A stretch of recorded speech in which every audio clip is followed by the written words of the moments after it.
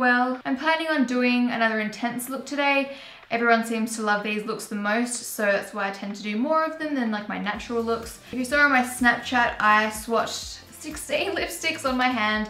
Here is the little photo. They're all from the Shiseido Rouge Rouge collection, so they look like this, super sleek packaging. It's like magnetic, it just clips back on.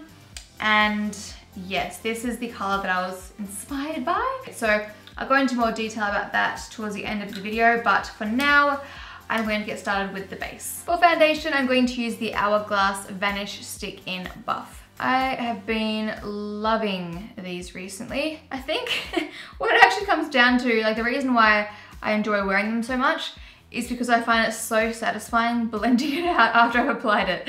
Like that's probably one of the main reasons I love wearing it so much. So yeah, this brush and this foundation work really, really well together.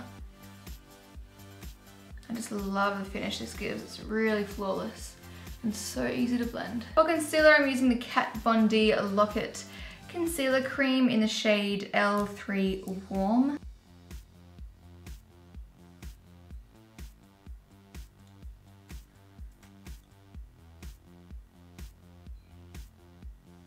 To highlight and bake underneath the eyes, I'll be using RCMA No Colour Powder with a damp beauty blender.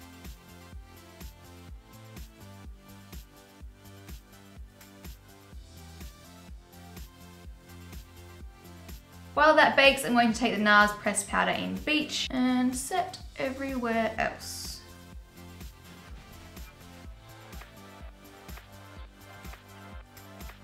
So I'm going to dust the bake away I like physically cannot leave my under eyes feeling like this. Every time I bake, it just feels so dry and like creepy underneath my eyes because obviously you're like packing powder on and letting it sit there. So I always use the Makeup Store Face Mist.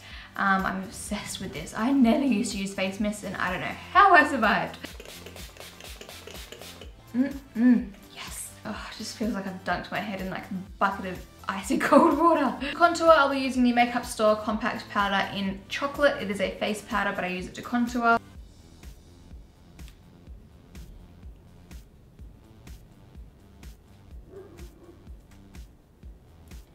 And just dusting that over my forehead to warm that up as well. For blush, I'm using the um, Hourglass Ambient Lighting Blush in Dim Infusion. This is my favorite Hourglass blush.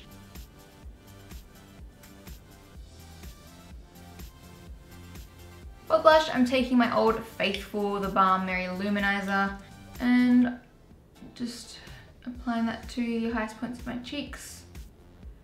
This little corner here, down the bridge of my nose. For my brows, I'm going to use the Chi Chi Brow Pomade in Taupe.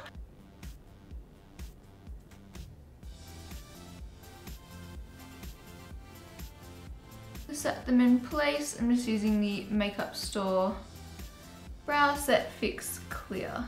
For eyeshadow, I'm going to use the Morphe The Little palette, and this one is Copper Popper. Oh yeah, this is my idea of like eyeshadow heaven. I'm going to start out with this shade here with a big fluffy brush, tapping off the excess, and then going straight into the crease with that. What I'm looking to create is basically a smoky eye that is dark here and here, but light in the center. So it kind of makes your eyes look more round, but it's just a different take on a smoky eye with a wing. Um, and it kind of breaks up the smoky eye a little bit because you don't have like a solid color on the base of the eyelid. Then I'm going to take this shade here, which is gorgeous. This would be stunning just all over the eye, like on its own, just for a really intense, like coppery look. Oh yeah. These shadows blend out so beautifully. I'm gonna take this one and just bring that over the outer edge a little bit as well. Making sure that you just leave that middle space clear. Oh, I need some hydration, some H2O. I'm going to grab this last shade here, which is an actual dark brown, on the same brush and just work that into the crease. Just making sure I'm getting the outer corner again.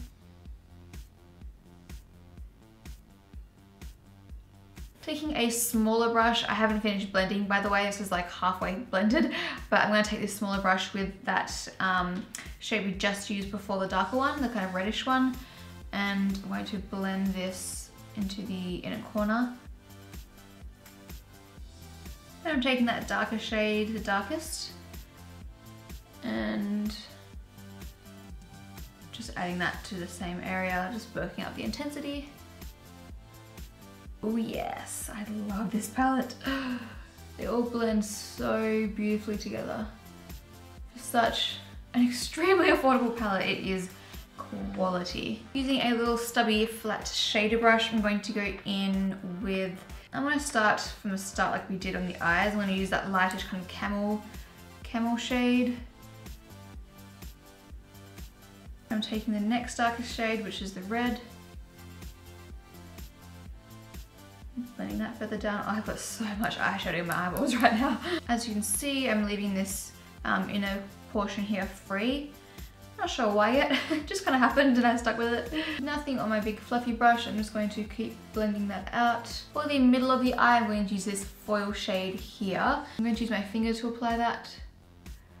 I feel like fingers just always apply product the best, especially when you're using these kinds of products, like the foil ones, where you really want the intensity to be there. So nice that I could do a whole tutorial using one eyeshadow palette, that never happens. I'm gonna take some more of that foil on a little tiny brush and apply this to the inner corner area. Applying my eyes, I'm going to use the Makeup Store eye pencil in Darkest Shadow. I'm just holding the pencil on its side and I'm creating short little strokes as I go along so that eventually they'll connect up and you're not like trying to create one solid line all at once because that's when it's really difficult and mistakes are made. Hopefully you can't hear that in the background. Reese was vacuuming before and now he's using a drill. I don't even know, I don't even know. I think I'm going to line my waterline as well.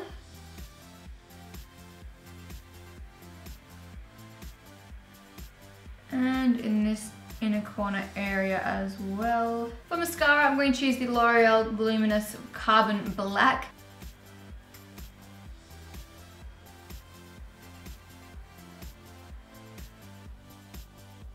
So these are the 47s, they're super, super spidery and not as intense as the 138s that I normally wear. And I'm using the Duo Brush On Adhesive in Dark.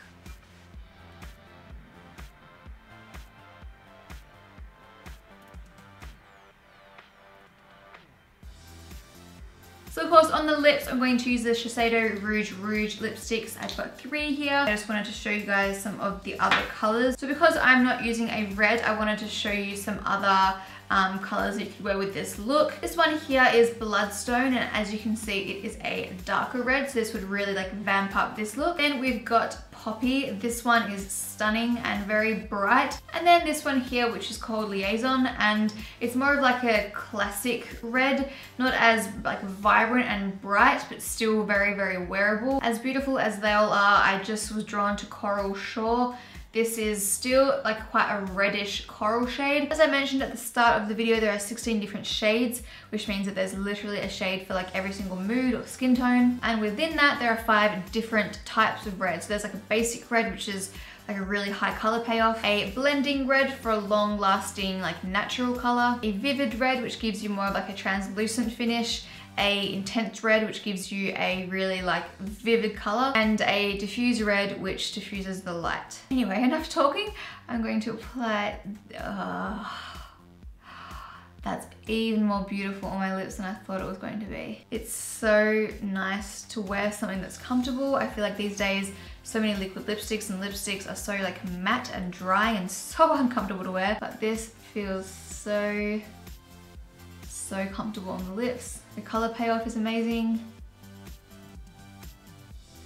God, it's so comfortable. It's almost matching my background. that was not intentional. So that is the finished look. I hope you guys enjoyed. Thank you all so much for watching. I love you guys and I hope to see you all in my next video. Bye everyone.